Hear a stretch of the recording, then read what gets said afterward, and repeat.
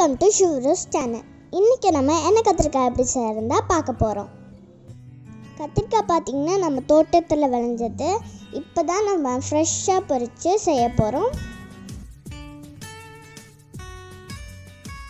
தக்காளி கூட நம்ம தோட்டத்தில் விளைஞ்சது தான்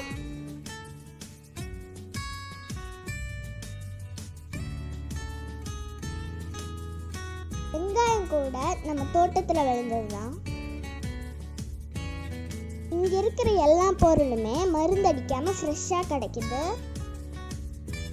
தேவையான பொருட்கள் கத்திரிக்காய் கருவேப்பிலை கல்லுப்பு குழம்பு மிளகாய்த்தூள் வெங்காயம் தக்காளி புளித்தண்ணி.